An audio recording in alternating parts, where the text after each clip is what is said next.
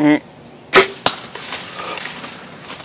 What's going on guys? Clifton Denney with On Your Own Outdoors. Hey guys, so today we're here to talk about another XOP product and that is the X2 climbing stick. Coming in at just over a pound and a half per stick. These things are freaking phenomenal. I think if you're on any kind of social media platform and you've looked up these X2 sticks, you've seen pictures and or videos like these where it's the stick locked on with no strap. Obviously, you're not gonna climb like that, but these things bite like nothing else. Um, so the purpose, the reason that I did this is whenever I'm going up a tree and I set my stick, it kind of gives you that free hand. It's not falling all over the place. Um, but we're gonna talk about these sticks, the way they lock together, the usability of them, the 350 pound weight rating, that's huge for something this light. And then the overall weight, length, width, and everything else about these sticks. Number one, if you like any of the XOP products, right there, there's your little discount code. Feel free to use it because um, over the next couple of weeks, we're gonna start with these X2 sticks. We've got both of their new lock-ons. We've got their new saddle. Over the next couple weeks, we're gonna run through every bit of the XOP lineup. So make sure you like and subscribe because you don't wanna miss this. We always talk about XOP and the bang for your buck. They are made for the blue collar guys. They have all the perks of all the other stuff that's on the market at a discounted price, it seems like. So make sure you like and subscribe and don't miss out on those videos. But let's go ahead and talk about these X2 sticks. Number one, I left these two locked together.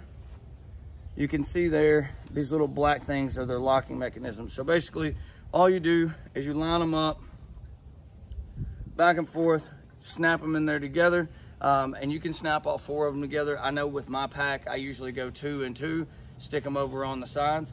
Um, but I'm gonna go ahead and set these down and we're gonna talk about the actual stick itself. So number one, these things are insanely lightweight. I know that, um, I think they're just over a pound and a half a piece. They come in just over six pounds for four. Uh, so, you know, in my eyes, that's three pounds each side of my pack. It's not very much weight, especially when you throw it together with their new lock-ons that are insanely light um, and we're gonna be doing that later on this week. But back to this thing, you got 17 inches top to bottom. So it's a good side step. It's not one of your extremely long ones. It's not a shorty. It's 17 inches, it's lightweight. Side to side, you've got 10 inches.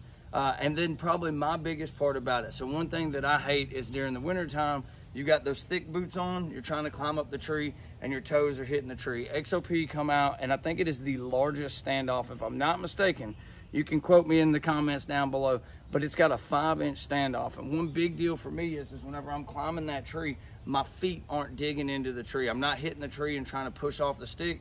It's got a great standoff for you guys with the big hooves. The next thing we're gonna talk about is the aider setup. So it comes with the holes already ready. You can put whatever aider you want to on there or the pre-drilled holes on the side for the AmSteel. Again, that's just another big deal because you don't have to mod these. They're already pre-modded right out of the factory.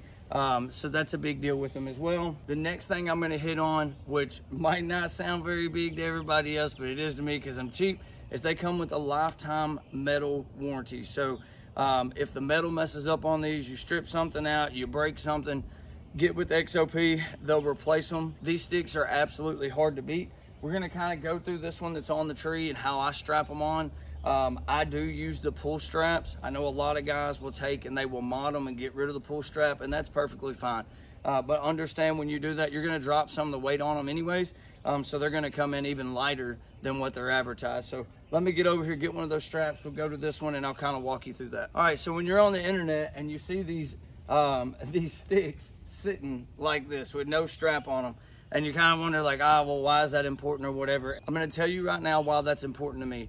And the reason being is whenever I'm going up a tree, whether I be in a saddle or if I'm in a lock on, um, the reason that's important is the way it's set up right here. I can have my sticks hooked to my side and as I go up, I can take the stick, bam, jam it on there. And now if I'm in my saddle and I'm hanging over to the side, I'm not having to touch that thing. It's just kind of dangling, basically pre-locked into the tree. So what I do is I'll go ahead, put my strap on like this, lean into it, come around the other side, Again, this thing basically holds itself on a tree. Tighten my strap up, and then I like to bring my excess part around, push it down so that it's locked in good. Now it's locked onto the tree. But what that thing does, the way that it grips that tree so well, it just gives you basically a free hand. It's like having three, three hands in the tree because you can take it jam it on the tree, hands free, put your strap around, and then whenever you go to tighten it, obviously you'll grab back a hold of it. These sticks are absolutely hard to beat. Like I said, you can take them like this and snap them together if you wanted to, and then you can carry all four of them. All you have to do, guys, whenever you're doing it, is make sure that you're staggering them so you can see the top. So you just have to stagger them out a little bit to make sure they're not hitting. You can stack all four of them on there together. We'll go ahead and pull this one. Again, you just hit the little release.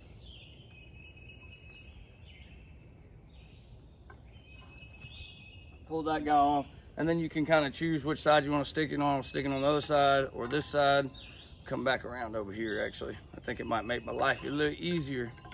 But pick your hole, push, push, and you're stacked together, ready to go. That is the X2 sticks by XOP, and I'm telling you guys now, these things are gonna be hard to beat.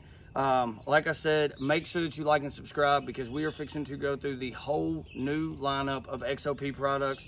We've got the lock-ons inside. I've been playing with them for the last two days, and those things are freaking phenomenal. So, hey, guys, until later in the week, good hunting, and uh, the next time we'll see you, we'll see you from a lock-on.